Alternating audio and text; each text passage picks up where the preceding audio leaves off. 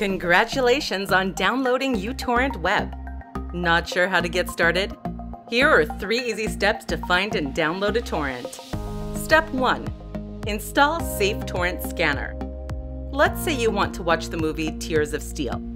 We recommend installing the Safe Torrent Scanner Chrome extension. It will help filter out bad torrents and give you direct links to good ones. Step 2. Search for a torrent. Now that we've added the extension, let's search for Tears of Steel.